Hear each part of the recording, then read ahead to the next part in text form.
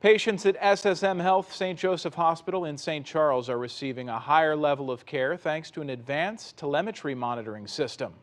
In tonight's SSM Health Medical Minute, Dan Gray has the story of how a monitor technician saved a life by observing a patient's vital signs.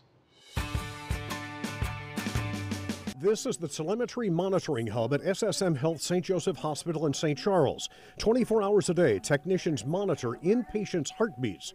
Recently, technician Amanda Duncan saw on a monitor signs of an abnormal heart rhythm in a patient. I actually caught a patient uh, who was having a heart attack um, on the monitor as I was monitoring them.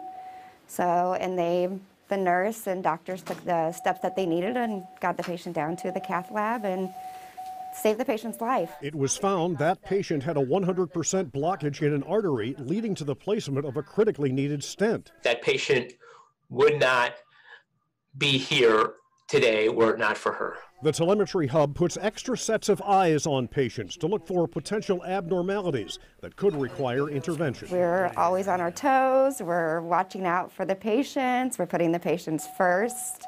Um, we, have a, we have a great healthcare system here, uh, genuinely care. For the SSM Health Medical Minute, Dan Gray.